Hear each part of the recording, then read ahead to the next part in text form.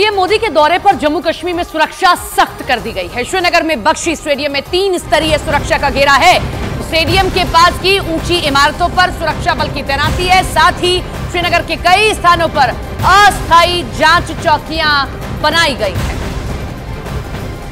तो बख्शी स्टेडियम में तीन स्तरीय, जो तीन लेयर्स हैं, उनको तैयार किया गया है सुरक्षा की, क्योंकि प्रधानमंत्री की बहुत बड़ी रैली और पहली बार ये रैली होने जा रही है तीन सत्तर के बाद तो निश्चित तौर पर सुरक्षा होना बहुत ज़रूरी है, क्योंकि जिस तरीके से हमने घाटी में कई चीज़ें होती हुई देखी, लेकिन लोगों में उतना ही उत्साह भी है, वो सुनने आ रहे हैं अपने प्रधानमंत्री को कि आखिर आज घाटी से प्रधानमंत्री क्या संदेश देते हैं।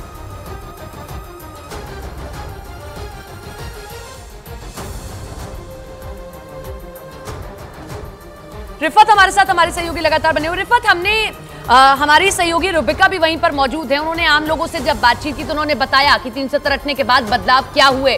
वो चेहरे पर खुशी दिखाई दे रही है। लोगों में उत्साह दिख रहा है कि पीएम आए तो सुने हम जरा उनको। देखिए, बिल्कुल जिस तरीके से मैंने कहा कि लोग लगातार आ रहे हैं दूर दूर इलाकों से, चाहे कुपवारा हो, अनंतनाग हो बारामूला हो, या बाकी जो एरियाज़ है, वहाँ से लोग आ रहे हैं। मैं कैमरा पर्सन से कहूँ, वो दिखाएँ। आप देखिए कि लगातार जिस तरीके से लोग आ रहे हैं, वो ये कहा जा सकता है कि बहुत ज़्यादा तादाद यहाँ पे अब लोगों की बढ़ रही है। पहले इंडोर स्टेडियम ये जा रहे हैं, और उसके बाद जो है बख्शी स्टेडियम का रुख करेंगे। और ये आप देख सकते हैं, लगातार लोग आ रहे हैं। और ये मैं दिखाने की कोशिश करूँगा रिफत, नौजवान आ रहे हैं आपके पीछे। बात भी करिएगा, उनसे पूछिएगा भी कि तीन सत्तर हटा तो क्या बदलाव हुए? जरा वो अच्छे से बता पाएँगे। मैं कोशिश करूँगा कुछ लोगों से बात करने की। आप देख सकते हैं, यहाँ से आपको एक क्लैरिटी आएगी कि कितने सारे लोग जो हैं, वो इस रैली में जो है, वो शिरकत कर रहे हैं। और यहाँ पे सुरक्षा के सख्त इंतज़ाम है। और आप ये यहाँ पे देख सकते हैं कि कितनी सारी जो है, अब लोगों का जमावड़ा बन गया है। ये देखिए, यहाँ पे तिरंगा लहरा रहा है और लोग जो है भारी तादाद में आ रहे हैं। जिस तरीके से बीजेपी ने दावा किया है कि दो लाख लोग आएँगे। आप देखेंगे, कुछ लोगों से हम बात करने की कोशिश करेंगे। आप हमें बताइए कि आप कहाँ से आए हैं? पुरी से जनाब। तो मोदी जी की स्पीच सुनने के लिए आए हैं। हाँ, तो कैसा उत्साह है? कैसा लग रहा है?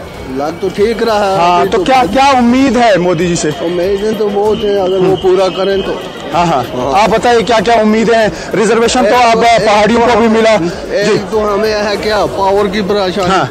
एक तो वो राशन की भी परेशानी अच्छा तो आप आप ये देखिए इनकी भी काफ़ी उम्मीदें हैं। कोई रोज़गार समझता है कि उसमें इजाफा होना चाहिए कोई राशन ज़रूरत भी नहीं है तो या, हम या, तो जी। आखिरी मरहले में तो यहाँ पे अब ये देखिए ये ये अभी यहाँ पे उत्साह जी। सर आप बताए हाँ। सर हम बहुत खुश हैं। हाँ। हम इस वक्त मोदी साहब से मिलने वाले हैं। हाँ। अनकरीब हम उससे मिलेंगे। उम्मीद रखते हैं कि हमारा रोज़गार भी बढ़ जाए। टूरिज़्म के एतबार से रोज़गार बढ़े। और राशन के एतबार से भी हमें जो राशन की कटौती होगी तो ये सारे लोग चाहते हैं कि इनका रोज़गार बढ़े लेकिन जिस तरीके का उत्साह ये बदलाव की तस्वीरें हैं। आज से पहले घाटी में इस तरीके की जब चीज़ें हुई तो उसमें जहर उगलने का काम किया गया था भड़काने का काम किया गया था नौजवानों को। लेकिन आज लोग अपने पीएम को सुनने जा रहे हैं और पीएम से उम्मीद भी लगाए हुए हैं।